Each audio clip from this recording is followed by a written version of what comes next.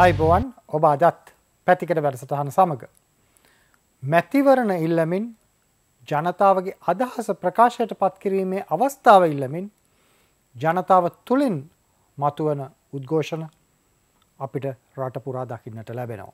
පෞගේ සතියන්තේ පැවැත්වුණු ජාතික ජනබලවේගේ මේ උද්ඝෝෂණවලට සහභාගි වුණු නිවිත කළ ප්‍රාදේශය සභාව සඳහා ජාතික ජනබලවේගෙන් තරඟ කරන නිමල් අමරසිරි මහත්මයා ජීවිතක්ෂයට පත්වලා තියෙනවා. මේ තත්ත්වයක් එක්ක අලුත් තත්ත්වයක් නිර්මාණය වෙමින් තියෙනවා.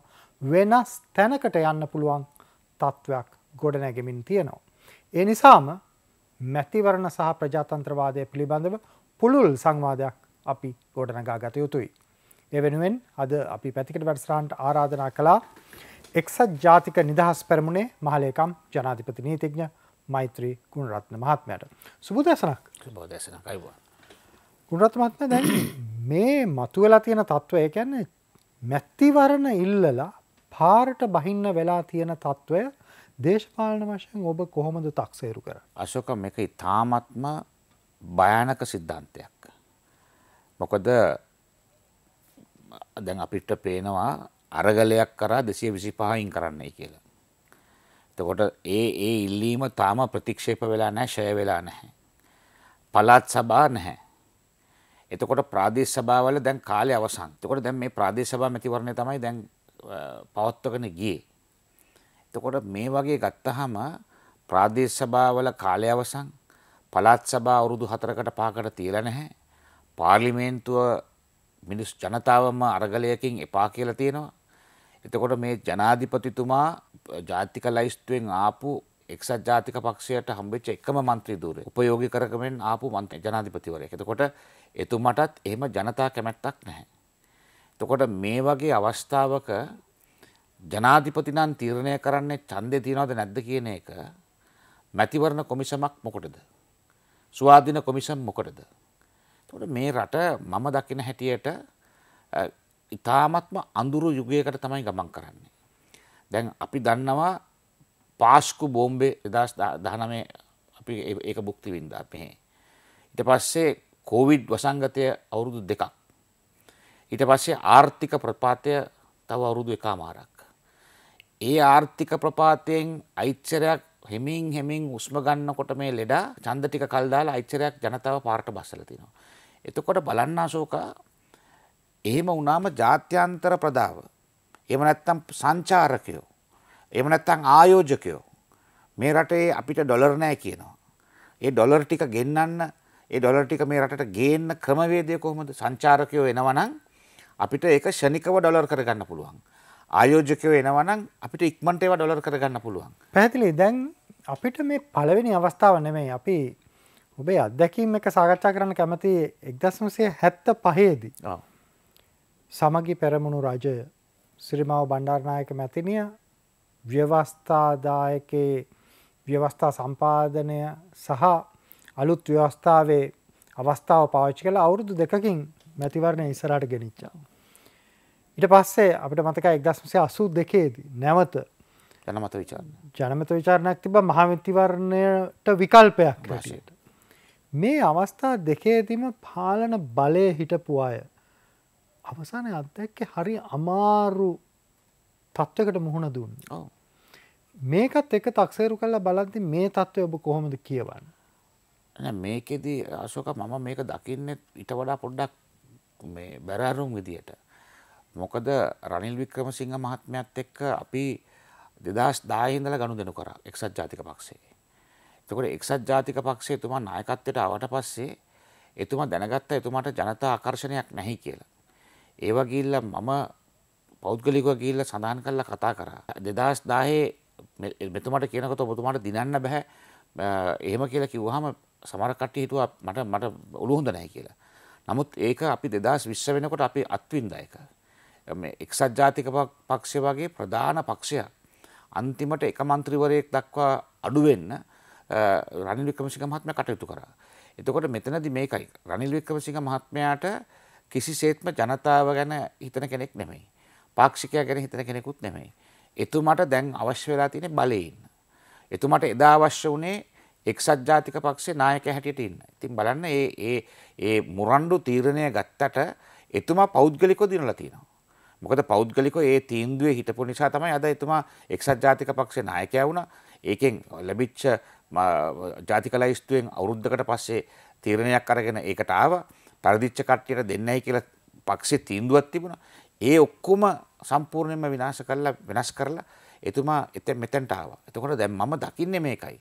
රාජපක්ෂලා මේ රටේ විශාල විනාශයක් කර රාජපක්ෂලා. නමුත් රාජපක්ෂල ඡන්දෙ තිබ්බා. ඡන්දෙ තියන්න බය වුණේ නැහැ. මම මම හිතන හැටියට රනිල් වික්‍රමසිංහ මහත්මයා ඡන්දයක් තියන්නේ නැහැ. ඡන්දයක් තියන්නේ නැහැ කියලා ඔබ කරන කල්පනාව හරි භයානක කල්පනාවක්. අනිත් පැත්තෙන් අපි මේ ප්‍රශ්නය කියවන්න ඕන විදියක් තියෙනවා. ඡන්ද දායකයාට පොදු ජනතාවට තියෙන උවමනාව කියවන්න ඕන ඒ වගේමයි හරි වැදගත් අපි තේරුම් ගන්න එක මේ මැතිවරණය ලංකා ඉතිහාසේ මම හිතන්න වැඩිම පිරිසක් තරන් කරන මැතිවරණය අසූදාහකට වැඩි අපේක්ෂකයෝ ප්‍රමාණයක් පලාත්පාලන ආයතන දෙසිය තිස්ටමයකට තරඟ කරන දැන් ඔබේ එක්සත් ජාතික නිදහස් පෙරමුණ පලාත්පාලන ආයතනවල නියෝජිතයෝ විසිය එකක් ඉන්නවා සහය දෙන ස්වාධීන කණ්ඩායමුත් එක බලුත් තිහක් ඉන්නවා. ට මේ දේශපාලන වර්ණාවලේ විවිධ පක්ෂ තියෙනවා. ඔබේ අපේක්ෂකයෝ කොහොමද ඒ අයගේ මානසිකත්වය කොහොමද ඒ අය මේකට මුණ දෙන්න? නෑසුක මෙහෙමයි. දැන් අපේ අපේ අපේක්ෂකයෝ ඉන්නවා රජය සේවකයෝ. එතකොට ඒගොල්ලො නිවාඩු අනුමත කරගෙන තමයි මේ ක්‍රියාවලට එකගුණ එකතු වනේ එතකොට එහෙම එකතු වුණ කට්ටියට මේක මේක මෙහෙම දින නියමයක් නොමැතිව කල්දාපුවාම මොන තරම් අසාධාරණයක්ද? දැන් මේ රටේ ජනතාවට අද තුන්වේල කන්න බැරි තත්ත්වයක් උදා වෙලා තියෙනවා. එතකොට රජයේ සේවකයා ඊට වඩා අමාරු තත්ත්වයක ඉන්නේ. එතකොට මේ රජයේ සේවකයා තමන්ගේ ප්‍රජාතන්ත්‍රවාදී අයිතිය තහවුරු කරගන්න ඡන්දෙ ඉල්ලන්න ආපුවාම මේ ඡන්දේ කල් දානකොට මං අහන්නේ එතකොට කොහොමද? කාටද කාටද මේ රටේ නීතිය ගැන? කාටද මේ රටේ තියෙන සිස්ටම් එක ගැන විශ්වාසයක් තියන්න පුළුවන්. විශ්වාසයක් තියන්න බෑ. ආණ්ඩුක්‍රම ව්‍යවස්ථා සංශෝධන වලදී නැවත නැවත සාකච්ඡා කරපු දෙයක් තියෙනවානේ. මේ නිදහස් ස්වාධීන කොමිෂන් සභා පිහිටවීමෙන් තමයි බලධාරීන්ගේ අත යටට යන්නේ නැතුව බලයට නතුවෙන්නේ නැතුව ස්වාධීනව කටයුතු කරන්න පුළුවන් වෙන්නේ ඒක නිසා තමයි ස්වාධීන මැතිවන්න කොමිසම අල්ලස්සෝ දූෂණ කොමිසම මේ වගේ ආයතන වෙනම ස්වාධීන කොමිෂන් සභා හැටියට තිබ්බේ. මේකෙන් අපිට බලාපොරොත්තුවන ප්‍රතිඵල අත්තුනාද. ස්වාධීන කොමිෂන් සභා සහ ඕනම කොමිසන් සභාවක් ඕනම තනතුරක් කොච්චර ස්වාධීන කරත් ඒ තනතුරු දරණ මිනිස්සු ස්වාධීන නැත්තම් කවදක්වත් ඒ තනතුර සහ ඒ ආයතනය ස්වාධීනත්වයක් බලාපොරොත්තු වෙන්න බෑ. මේක තමයි යථාර්ථය. ඒ තනතුරට දාන කෙනා යම් කිසි ස්වාධීනත්වයක් යට තියෙන්න ඕනේ. ඔබ බරපතල චෝදනාවක් කරන්න. හැබැයි දැන් මේ පිරිස මැතිවරණයට දින නියම කරනවා මැතිවරණ යාන්ත්‍රණය යනවා. හැබැයි මැතිවරණය තියන්න සල්ලි ලැබෙන්න එතකොට ඒ අය මොකක්ද කරන්න? ඇ මැතිවරණය තියන්ඩ කලින් මැතිවරණය තියන්ඩ කලින් මේ වටික ඔක්කොම ලකලා ඇස්ති කර ගන්න පැයි මේ කොළු එකන්නේ ඒම නැතුවද මේ කොළ මැතිවරණයට ගිහිල තියෙන්නේ? ඒ විතරක්ම අපිට අන්ට සමාවෙන්න දැන් මැතිවරණය සඳහා අපි ඇස්තමේන්තු සකස් කරනවා. විවිධ දෙපාර්තමේන්තු විධ කාරයන් සඳහා වාර්ෂිකව ඇස්තමේන්තු සකස් කරනවා. ඒ ඇත්තමේන්තු සකස් කරලා ඔවුන් මහාභාණ්ඩාගාරයට යවනවා. ඒවත් එක්ක තමයි අයවැය යෝජනායන්නේ අයවැය සම්ත වෙනවා. රුපියල් බිලියන දහයක මුදලක් චන්දවලට වෙන් කරනවා. ඊට එහා මේ පුද්ගලය මොකක්ද කරන්න? අපේ ව්‍යවස්ථාවයම අනුව මේ සම්බන්ධයෙන් මේ සම්බන්ධයෙන් නිතිමය කටයුතු කරන්න එකොළට අයිතිය තියෙනවා. දැන් කොටිම කියනවා නම් බලන්ඩ මේ මැතිවරණය පටන් ගත්ත දවසේ ඉඳලම කකුලෙන් ඇද්දනේ. අමාත්‍යංශ ලේකම්වරයෙක් ලිව්වා තැන්පතු මුදල් ගන්න එපයි කියලා. එතකොට එතනින් මේක කඩා කප්පල් කරන්න හැදුවා. ඊට පස්සේ මොකද්ද කරේ? ඊට පස්සේ කිව්වා මේ මේ මේ පුද්‍රනාධිපතිමතුපතිනිය කිව්වා මේක අච්චු ගන්න බැයි කියලා. ඊට පස්සේ නීතිපතිතුමා අශෝක විශ්වාස කරනවා නීතිපතිතුමා කියලා තියෙනවා අපිට මැතිවරණ කොමිෂන් සභාව වෙනුවෙන් පෙනී හිටින්න බැයි කියලා. මොකද සාමාන්‍යයෙන් රාජ්‍ය ආයතනයකට නීතිපතිතුමා පෙනේ හිටින් නැත්තේ පොලිසියේ මොකක් හරි කෘර මනුස්ස හිංසාවක් කරලා තියෙනවා නම් විතරයි නීතිපතිතුමා පෙනේ නොහිටින්නේ. නමුත් මේ අවස්ථාවේදී මේ නඩු පවරනකොටම නීතිපතිතුමා කියලා තියෙනවා පෙනේ හිටින්නේ නැහැ කියලා. එතකොට බලන්න නීතිපතිතුමා යන්නේ විධායකයා යටතේ. මුද්‍රණ සංස්ථාවන්නේ විදායක යටතේ බණ්ඩාකාරයන්නේ විදායක යටතේ. ඊට පස්සේ පොලිස්පතිතුමා පොලිස්පතිතුමා කොහින්ද පැනල කියනවා මේකට සිකරුටික දෙන්න බැහි කියලා. දැන් ඔබතුමා දැක්ක ජනතාව මුක්ති පෙරමුණේ විශාල උද්ඝෝෂණයක් තිබ්බා. ඒකට කීදාහක් ඇවිල්ලා හිටියද සිකරුටි ෆෝසස් පොලිස් නිලධාරීන් හමුදා නිලධාරීන්. එතකොට ඔන්න ඔය IGPම ඔය IGPම කියනවා මැතිවරණය තියන්න අපිට හැටක් හැත්තාවත් දෙන්න බෑ. ඒ කියන්නේ මුද්‍රණය කරන්න 50ක් හැටක් දෙන්න බෑ. නමුත් උද්ඝෝෂණයක් මැඩලන්න උද්ඝෝෂණයට ගහන්න මිනිස්සු මරන්න ඕන තරමක් ඒගොල්ලන්ට දෙන්න පුළුවන්. එතකොට කාවද මේ රවට්ටන්න හදන්නේ? අනිත් එක මතක තියාගන්න. මේ සියලු දෙනාම නඩත්තු වෙන්නේ මේ ජනතාවගේ මුදල් වලින්. මේ සියලු දෙනාම නඩත්තු වෙන්නේ ජනතාවගේ මුදල් වලින්. එතකොට මේ වගේ කරන්න කරන්න කරන්න කරන්න අශෝක වෙන්නේ මොකක්ද? ජනතාව තුළ කෝපය වැඩි වෙනවා. කෝපය වැඩි වුණාට පස්සේ ජනතාව කොයි විදියට ප්‍රතිචාර දක්වයිද කියන එක අපිට හිතා ගන්න අමාරුයි. ඉතින් ඒක තමයි ඒක තමයි මෙතන තියෙන බයරුම්ම දේ. ඒ විතරක් නෙමෙයි. මේ රටේ ඡන්ද තියෙන්නේ නැහැ කියලා කිව්වහම IMF එක වගේ සංවිධාන ඔබතුමා හිතනවද මේ මේ මේ ඒකාධිපති රාජ්‍යන්ට කියලා සල්ලි දෙයි කියලා? ඔබතුමා හිතනවද මොහොතකටවත්? ඒව වෙන්නේ නැහැ. හැබැයි මම හිතන හැටියට රනිල් වික්‍රමසිංහ මහත්තයාටත් ඕනේ මේක හිඟන්නගේ තුවාලේ වගේ IMF එකේ ණය හෙට එනවා අනිද්දා එනවා. හෙට එනවා අනිද්දා එනවා. හැබැයි ඡන්ද තියන්න අපිට සල්ලි නැහැ. දැන් ජනාධිපතිතුමාගේ පහුගිය දවස් පාර්ලිමේන්තුවට කළ ප්‍රකාශය ඇතුළේ තිබුණා මාර්තු මාසේ බලාපොරොත්තු වූ පරිදි ජාත්‍යන්තර මූල්‍ය අරමුදලේ සහන මුදල් නොලැබුණොත් නඩත්තුව සඳහා අපි සංචිත පවත්වා ගත යුතුයි එය හේතුවක් කියල මේ ඡන්දය සඳහා වියදන් නොකරයින්. ආශෝක මාර්තු මාසයනකොට මේ IMF ලෝන් එක එන්නේ නැහැ. IMF ලෝන් එක එන්නේ නැහැ මොකද අපි තව කීප හුඟක් දේවල් කරන්න ඕනේ. නොකර අපි ඡන්දෙත් නොතිය නොතිබ්බාම මොකද්ද වෙන්නේ? අනිත් එක දැන් බලන්න මේ රටට වෙලා තියෙන ආර්ථික ප්‍රශ්නේ.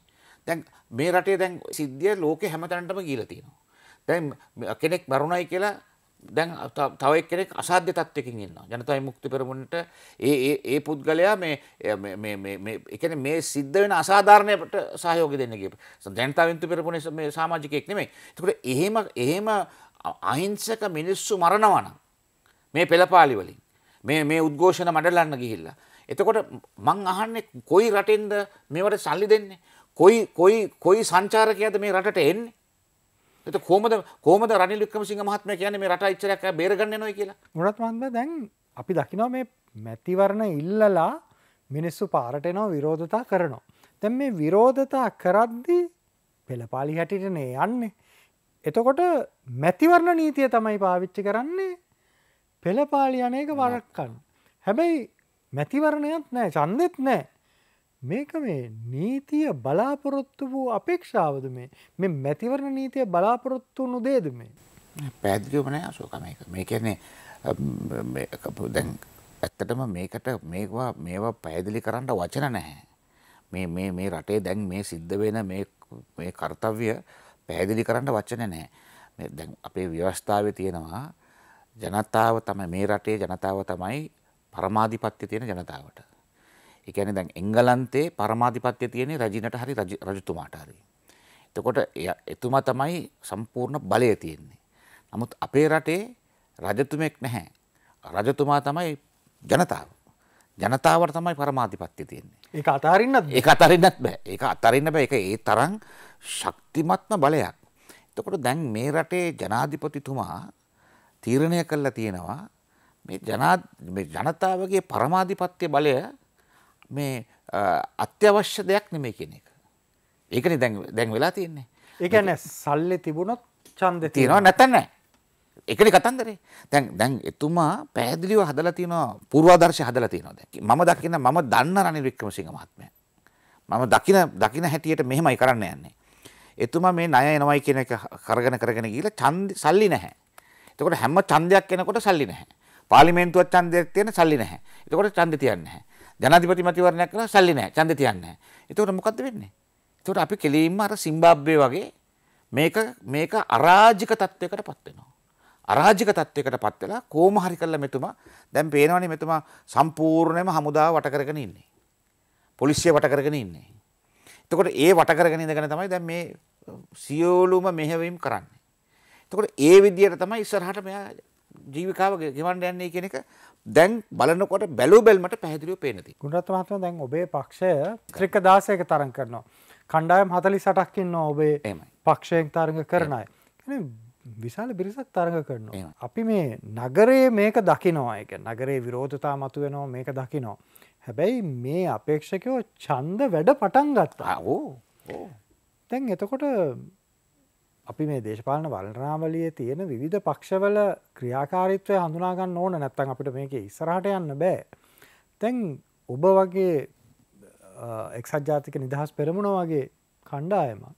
කොහොමද මේ මැතිවරණය පටන් අරගෙන ගමේදි මුණ දෙන අභියෝගය. නැති ගමේ ඇත්- ඇත්තටම දැන් අම්- අපි අපි අපේක්ෂක මහත්තුරුන්ට කිව්වේ ගිහිල්ල පෝස්ටර් එකක් ගහන්න කියලා මේ අපි කන්දෙල්ලුව අපි අපි මන්ත්‍රීවරු හැටියට තමයි ඔබතුමාලා නියෝජනය කරන්න ඉදිරිපත් වෙච්ච උදවිය මේ ඡන්දේ නොතිබ්බත් තිබ්බත් නොතිබ්බත් ඔබතුමාලාගේ වැඩ කරන්න ඕන වැඩ තියෙනවා නම් කරුණාකරලා අපේ ටෙලිෆෝන් ඒ කියන්නේ ඒ മന്ത്രിවරයාගේ ටෙලිෆෝන් නම්බරේ දාලා ගමේ පෝස්ටර් 10ක් 15ක් ගන්න කියලා මම උපදෙස් දීලා තියෙනවා. මොකද මොකද අපි අඩු ගානේ ඒ ජනතාවටවත් කියලා දුක් දුක කියන්න අපි කවුරු හරි മന്ത്രിවරයෙක් හරි නියෝජිතයෙක් හරි ඉන්න එපයි. മന്ത്രിවරයෙක් නොවුනට නියෝජිතයෙක් හරි ඉන්න එපයි. ඉතින් එහෙම එහෙම කරලා අපි මේක කොහොම හරි මැඩපවත්වගෙන යනවා. දැන් හැබැයි නිතරම නිතරම මට කෝල් කර කර යනවා හෙට තියයිද තියයිද තියයිද කියන එක. මොකද මිනිස්සුන්ටත් ඕනේ වෙනසක්. මිනිස්සුන්ට වෙනසක් දකින අනිතක මිනිස්සු මේ ආණ්ඩුව මේකේ ඉන්න മന്ത്രിවරු ටික සම්පූර්ණයෙන් ප්‍රතික්ෂේප කරනවා. ඉතින් ඒක ඒ ඒ කතාව මිනිස්සු කියන්නේ ඡන්දෙකදීනේ අශෝක. වෙන විදියකට මිනිස්සුන්ට කියන්න විදියක් නැහැනේ. වෙන විදියකට කියන්න තමයි මේගොල්ලෝ තල්ලු කරන්නේ. මේ මේ මේ තල්ලු කරන තල්ලු කිරීමෙන් මොකද්ද වෙන්නේ? අන්තිමට තුවක්කුව ගන්න තමයි වෙන්නේ. ඉතින් ජනතාවට ජනතාව තුවක්කු ගත්තොත් ඉතින් එහෙම මේ මේ කරන මේ සිද්ධිදාමය තුලින් ම- කාටවත් දොස් කියන්න බෑ. මොකද ප්‍රජාතන්ත්‍රවාදයේ රටක ප්‍රජාතන්ත්‍රවාදී අහිමි කරපුවාම අන්තිමට ඒක කෙලවර වෙන්නේ එතනින් තමයි. ලංකාවේ මේ මොහොතේ දකින විශේෂ කාරණයක් තියෙනවා මෛත්‍රී ගුණරත්න මහත්මයාත් මතක් කරා මේ ආර්ථිකය කියන සාධකය අපි නැවත නැවත ඉස්සරහට කරනලා තොරම්බල් කරනවා. හැබැයි අනිත් අතින් බලද්දී අපි දකිනවා දැන් උදාහරණයක් හැටියට ඉන්දියාවට දීවරයින් සඳහා විශේෂයෙන් උතුරු නැගෙනහිර කලාපය ඇතුලේ පුත්තලම සිට ඉහළට තියෙන කලාපේ යාපනය අර්ධද්වීපය දක්වා මේ කලාපේ ඉන්දීය දීවරයෝ අනවසරයෙන් ඇවිල්ලා ලංකාවේ දීවර සම්පත ඩැහැගෙන යනවා අපිට පේනවා. දැන් සාකච්ඡා කරමින් ඉන්නවා ලයිසන් ක්‍රමයක් හඳුන්වා දෙන්න ඉන්දිය දීවරෙන්ට ඇවිල්ලා අපේ මුහුදු කලාපේ මාළු අල්ලන්න. අපි ආර්ථික මේ වශයෙන් දුර්වල තැනකින්න ඉන්දියාවෙන් උදව් ලබා ගනිමින් ඉන්නේ අනවරතව. මේ වගේ වෙලාවක් මේ වගේ ආර්ථික යාන්ත්‍රණයන් හඳුන්වා දෙන්න ගැලපෙන මොහොතක්. පැහැදිලිවම නැහැ. පැහැදිලිවම නැහැ. මොකද අශෝකා මම යාපනයේ දිස්ත්‍රික්කේ සංචාරය කරලා තියෙනවා. මන්නාරමේ ගිහිල්ලා තියෙනවා. දැනටම කිසිම ලයිසන් දීමකින් තොරව ඉන්දියන් දීවරයෝ අපේ වෙරළ වෙරළ ළඟට ඇවිල්ලා මාළු ටික අල්ලගෙන යනවා. අපේ වෙරළ ළඟට ඇවිල්ලා මාළු ටික අල්ලගෙන යනවා. ලයිසන් දුන්නට පස්සේ අපිට තියෙනවා අපේ අපේ භූමි ප්‍රමාණයට වඩා අට ගුණයක් මුදු තීරය අපිට තියෙනවා මේ රටට. මේගොල්ලො මේක සම්පූර්ණයෙන්ම දැහගන්නවා. එතකොට අපේ දීවර කර්මාන්ත එතනින් ඉවරයි. අපේ දීවර කර්මාන්ත එතනින් ඉවරයි. දැන් ඒ විතරක් නෙමෙයි මම ඉන්දියාවට විරුද්ධ නැහැ. ඉන්දියාව ඇත්තටම විශාල සේවයක් අපිට මේ අපිට අමාරු කාලේ සිද්ධ වුණා. නමුත් මේකයි මේ දේශපාලඥයෝ තීර- තීරණය කරගන්න ඕනේ දැනගන්න ඕනේ ඒ ඉන්දියාවේ එක සමාගමකට එක සමාගමකට ගිහිල්ලා මේ සියලුම දේවල් පරිත්‍යාග කරන්න බෑ. දැන් අපේ අපේ විදුලි බලය ගත්තහම එක සමාගමකට සම්පූර්ණයෙන්ම විදුලි බලය ටික දීලා තියෙනවා. කිසිම ටෙන්ඩර් පටිපාටයකින් තොරව. මේව කොර- කරන්න අශෝක කවුද කවුද බලය දීලා තියෙන්නේ? කොයිද මේකේ බලය තියෙන්නේ? එතකොට මේවත් මේ විදියට කරගෙන කරගෙන යනකොට අන්තිමට අපිට රටක් ඉතුරු වෙනවද කියන එක තමයි දැන් තියෙන ප්‍රශ්නේ. අප- මන් දන්නවා මම යාපනය දිස්- ද- යාපන දිස්ත්‍රික්කය ගිහාම එහෙ තරුණ තරුණයෝ අ, දීවර කටයුතු කරපු තරුණ තරුණයන්ට කන්න බොන්න විදියක් නැහැ. එතකොට මට පෙන්නවා මෙන්න මේ අර පේන්නේ ඉන්දියන් ට්‍රෝලර් තියෙනවා කියලා. එතකොට අපිට යන්න විදියක් නැහැ. අනිත් එක අසෝක ඒගොල්ලෝ මේ අහිංසක විදියට ඇවිල්ලා මාළු අල්ලගෙන යන්නේ නැහැ. ඒ ඒ ඉන්දියන් ට්‍රෝලර් ලංකාවට ඇවිල්ලා අපේ මිනිස්සු හරියට ඉන්දියන් මූදිය ගිහිල්ලා මාළු අල්ලනවා වගේ තමයි අපේ කට්ටියට සලකන්නේ. මේක තමයි ඇත්ත කතාව.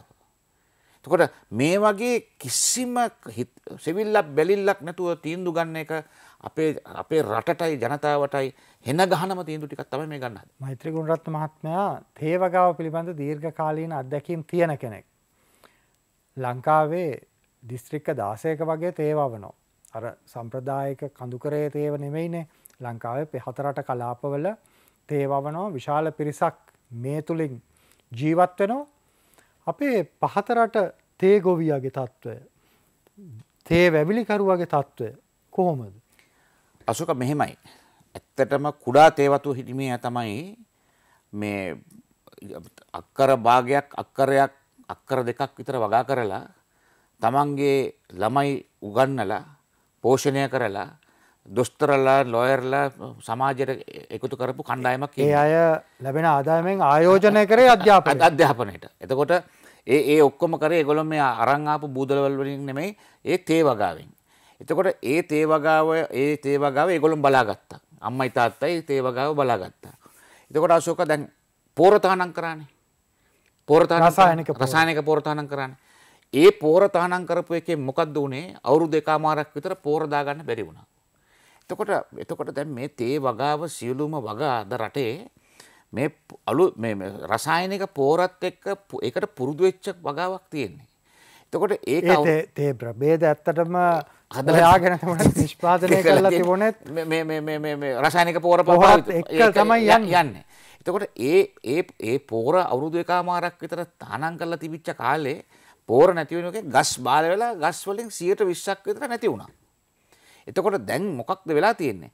දැන් කොච්චර පෝරගෙනාවත් මොකද තේ වගාව පොල් වගාව ඕනම් වගාවක් අසෝක අවුරුදු එකමාරක් විතර මේ වගාව අතරලා දැම්මට පස්සේ මේක නැවත පුනරුත්වාපනය කරලා ගන්න අවුරුදු 3ක් 4ක් යනවා. මේක මොකද මේ මේ වැවිලිකරුවොත් තමන්ගේ ආර්ථික චක්‍රයේ පහළ මඩියට ඇවිල්ලා ඇවිල්ලා තියෙන්නේ. එතකොට එතකොට දැන් දැන් දැන් අනිත් එක මේකනේ මේසරේ ආපු පෝරයක රුපියල් 18000යි 24000යි සමහරක් තැන්වල 40000යි. එතකොට හරි ප්‍රමිතියක් නැහැ. ඔබ කියන්නේ මේ තේවලට යොදන පෝර. තේවලට එක එක තැන්වල එක එක ගණන්. එතකොට කොහමද අසුක මේ වැටිලා ඉන්න ගොවියා ඒ ගානට මේ පෝර ටික අරගෙන දාන්නේ? වතු සමාගම් වලට එක කරන්න බැරි වෙලා තියෙනවා. වතු සමාගම් වලට එක කරගන්න බැරි වෙලා තියෙනවා. ඉතින් මං කියන්නේ මේකයි. මේ රටේ ආර්ථිකය ඉක්මනටම පණ ගස්සන්න ඕන නම් තේකර්මාන්තය ඇත්ත වශයෙන්ම තේකර්මාන්තය පොල් රබර් ඔය අපේ අපේ අපේ අපේ කෘෂිකර්මාන්තය. මේකට රජය විසින් දීර්ඝකාලීන සහනයකට හරි පෝරටික ලබා දෙනවා නම් අපිට අපිට ගොවියට පුළුවන් මේකේ පළදාව වැඩි කරලා අපනයනය කරන බාණ්ඩ ප්‍රමාණය වැඩි කරන්න. එතකොට අපිට ඩොලර් වැඩිපුර එනවා. දැන් ඔය පෝර පෝර සම්බන්ධයෙන් ගත්ත මෝඩ තීන්දුව නිසානේ අද අපි අපි බංකොලොත් බවට පත් උනේ. එතකොට අද වෙලා තියෙන්නේ ඒ ගොවියට ඒ ඒ ඒ ඉඩමෙන් තමන්ගේ ජීවිකාව ගෙනියන්න බැරි තත්ත්වයකට අදපත් වෙලා තියෙනවා. මේක හරි වැදගත්. මොකද තේගොවියා කුඩා තේවතු හිමියා තමන්ගේ ප්‍රදේශය තමන් කාගෙන්වත් රැකියා හොයාගන්න නැතුව. ඒ අය ඊටාම ස්වාධීනව ඉතාම සාර්ථකව තමන්ගේ වැඩ කරගෙන ගිය පිරිස මේ අය ආපව් ශ්‍රම වෙළඳපලට එකතු වෙනවා කියන්නේ අලුත් ප්‍රශ්නයක් ගොඩනගෙන අලුත් නෙමේ මේක විසන්දිය නොහැකි ප්‍රශ්නයක්. දැන් අද අද තේ වගා විතරක් නෙමෙයි. අද කුඩා කුඩා ව්‍යාපාර හිමියන්ට මොකක්ද වෙලා තියෙන්නේ? දැන් ගංවල බ්ලොග්ගල් හදපු මිනිසුන්ට මොකක්ද වෙලා තියෙන්නේ එතකොට ගල් වැඩ කරපු මොකක්ද කට්ටියට වෙලා තියෙන්නේ ගඩොල් කපපු කට්ටියට මොකක්ද වෙලා තියෙන්නේ වැලි වැලි කොට දාපු කට්ටියට මොකක්ද මේ මුළු ආර්ථිකයම විනාශ වෙලා තියෙන්නේ මේ මුළු ආර්ථික විනාශ වෙලා තියෙන්නේ. එතකොට මෙන්න මේ තත්ත්වයට තමයි අපිට මුණ පාන්න වෙලා තියෙන්නේ. අනිත් එක දැන් හැබැයි මේ දැන් අපි බහුලව අහන තර්කය තමයි ආර්ථිකය වැටිලා තියෙනවා. ඒ නිසා අපි ඡන්දේ නොතිය මේක කොට දානවා කියලා. ඔබ කියන්නේ ඊට එහා යා යුතුයි වැඩපිළිවෙලක් එක්ක. අනිවාර්යෙන්ම. අනිවාර්යෙන්ම වැඩපිළිවෙලක් නැතුව මේ මේ හදන්නේ මේ හදන්නේ මේ ඡන්ද පිට දාලා ඇත්තටම මේක කබලෙන් ලිපට යන තත්ත්වයකට තමයි මේ රට ගෙනියන්න හදන්නේ. මේ දැන් තියෙන තත්. අපි මේකත් එක්ක බලද්දී තේරුම් ගන්න ඕන තව වැදගත් තැනක් තියෙනවා. මොකද මැතිවරණ සඳහා සූදානම මැතිවරණ සඳහා යන ක්‍රියාදාමය. මේ ඇතුලේ විශ්වසනීයත්වය බිඳ වැටුණොත්. සාධාරණ අවස්ථාවක් තියෙනවයි කියන හැඟීම බිඳ වැටුණොත් රටේ ප්‍රජාතන්ත්‍රවාදී ව්‍යවහයට බරපතල තර්ජනයක් එල්ල වෙනවා. කැන චන්දය නොතිබීම කියන කාරණය ප්‍රකාශිත කාරණය වෙන්න පුළුවන් හැබැයි ඒක ඊට වඩා ගැඹුරට යනවා. ලංකාවේ මිනිස්සු චන්ද මැතිවරණ ක්‍රමය විශ්වාස කරනවා. මෙන්න මේක අපි සංකල්පමය තලය බලද්දි. කොහොමද මේක රැකගන්න දැන් කරන්න පුළුවන් මොනවද. අශෝක මේකේ රැකගන්න තියෙන එකම ක්‍රමය තමයි දැන් විපක්ෂය ගත්තහම විපක්ෂය බෙදිලා තියෙන්නේ. පළවෙනි දේ තමයි විපක්ෂ එකතු වෙන්න ඕනේ.